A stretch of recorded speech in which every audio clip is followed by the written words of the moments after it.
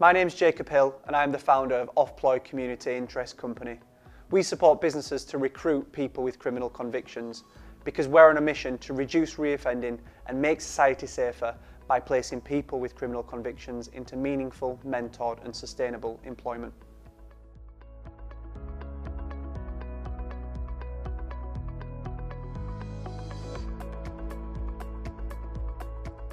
Ban the Box is a nationally recognised scheme that encourages employers to no longer ask the do you have a criminal conviction question at the application form stage. Instead, employers are encouraged to ask the question either at interview stage or not at all.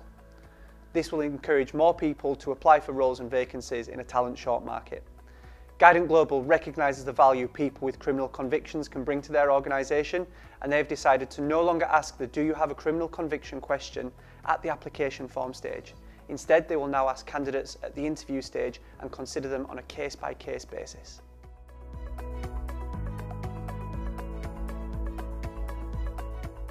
When we hear the words people with criminal convictions, it's natural to think of ex-offenders, ex-prisoners or even worse, ex-convicts. When we hear the word people with criminal convictions, we know that it actually represents 11 million people in the United Kingdom we know that it represents one in three adult males between the ages of 18 and 52. And we know that over 50% of convictions are for driving related offences, which include speeding points. It's really important for Offploy to state and to know that when we think of people with criminal convictions, we think of people.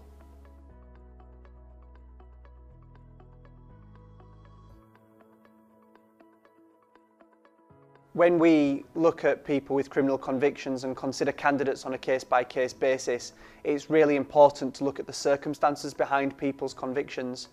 I could share stories with you of candidates that we've supported into employment who have come from a whole range of backgrounds.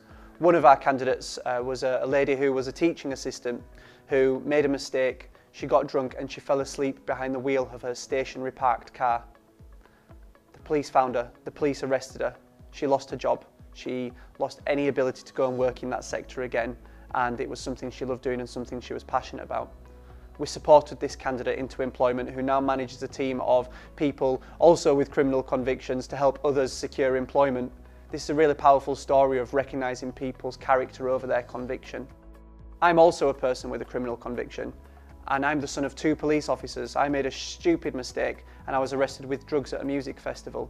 It was whilst inside prison that I actually came up with the idea to start Offploy because I recognised the talent and the desire and the motivation of the guys inside in, in their needs and their wants for securing employment. I found that really powerful and I knew that they could offer something to employers.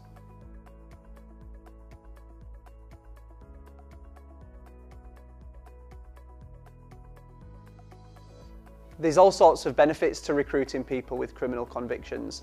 The first one I can think of is the motivation of the candidates that we work with.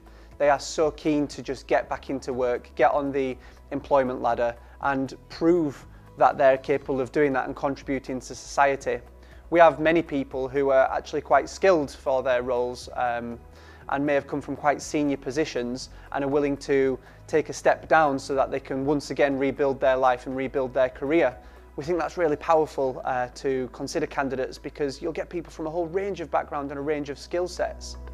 If the candidates you're looking at don't have the skill set that you require, you can actually work with the Ministry of Justice or the government to uh, encourage them to train people up in particular skills and particular areas, whether it's looking for a forklift truck license or going crazy and saying, let's look at people who can do bookkeeping or accountancy at level one, level two, level three.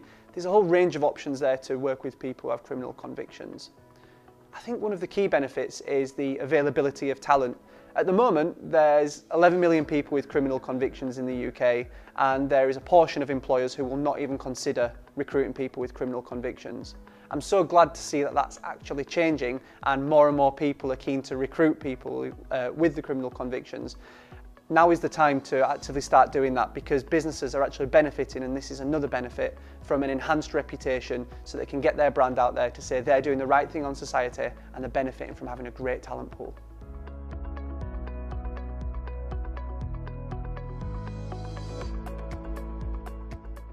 If you're interested in finding out more information, you can contact either Guidant Global or Offploy, whether it's looking at banning the box or hiring your first person with a criminal conviction. Together, we can support you to achieve your goals, whatever they might be.